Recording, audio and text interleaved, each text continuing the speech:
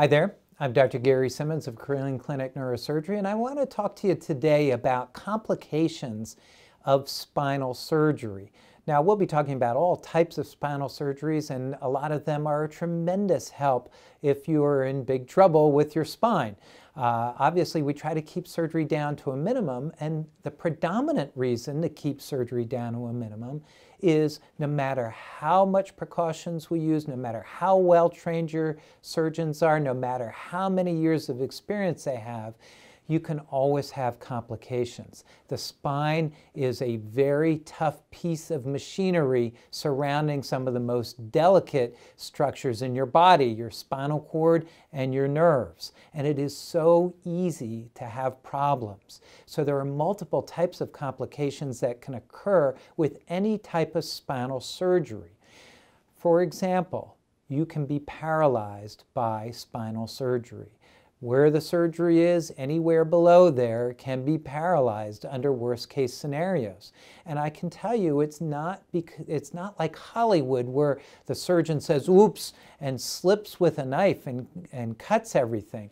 There can be big, nasty problems like paralysis, even when it seems like the surgery went perfectly fine. Luckily, that's very uncommon. An individual nerve can certainly be damaged badly in surgery. And you could get weak in one muscle group or two or so. For example, if your C6, a cervical sixth nerve, were damaged in surgery, you might be weak permanently in your biceps muscle. Not paralyzed everywhere, but permanently weak in a specific muscle. As a matter of fact, probably one of the more common nerves to be injured is the deltoid muscle, which pulls up your shoulder and your arm like this.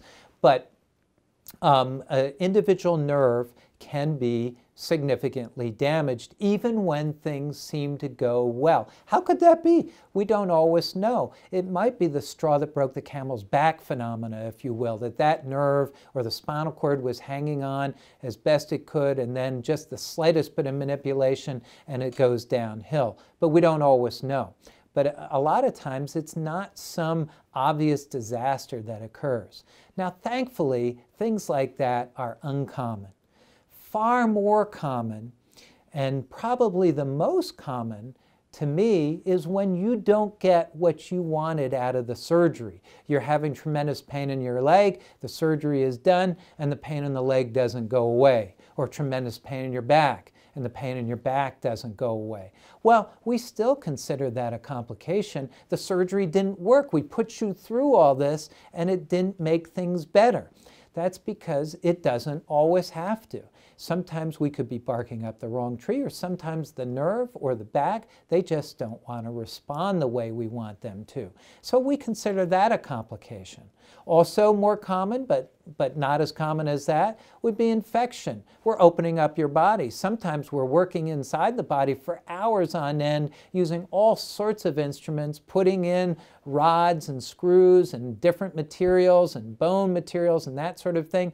And infection, unfortunately, is relatively common. No matter what precautions we take, it's relatively common. A few percentage of all spinal surgeries will have infections. And if it gets infected, sometimes we have to go back to surgery to clean it up and treat with antibiotics for potentially weeks after weeks after weeks. So infection is a problem, and it certainly is a, uh, a consideration in any spinal surgery. I'll talk about one further one at this juncture, and that is something called a spinal fluid leak. Inside your spine, your nerves are contained in a bag of fluid. It's the fluid that when they do a spinal tap, they put the needle into and draw off some of this fluid. It looks crystal clear. It looks like spring water. And during any type of spinal surgery, that bag of fluid can get opened. It can be torn, it can be cut, or sometimes we open it on purpose and then we seal it back up. It loves to leak. As soon as we put a patch on it or seal it up, it still loves to leak. It's like a water balloon filled with clear spring water. And it loves to leak, and if that leakage occurs too much, it can leak out of the wound, and uh, you can't have that. That can lead to infection. And so if there is a leakage of spinal fluid, even if it's contained under the skin, often we'll want to go back and re-repair it. Uh, and this happens a few percentage of cases, particularly in the lower back and particularly in cases of lumbar stenosis. So these are all real complications. They can occur.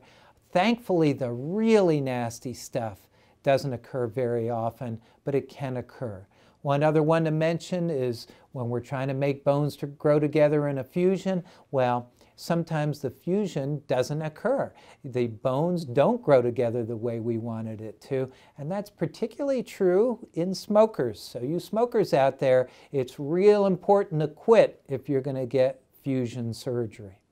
We can talk about other complications in other sessions, but those are some of the big ones. Uh, thank you very much for your time. Bye-bye now.